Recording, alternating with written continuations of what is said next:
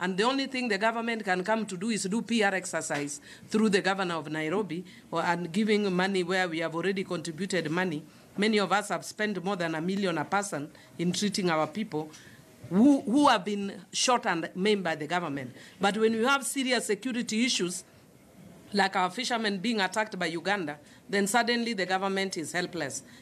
We want to tell Uhuru we did not elect him, and we will move direct to Mode 2, Article 1, uh, uh, of, uh, 1 sub Article 2 of the Constitution, which says that people can be governed either directly or through elected representatives. We did not elect Uhuru, so we are on a direct mode.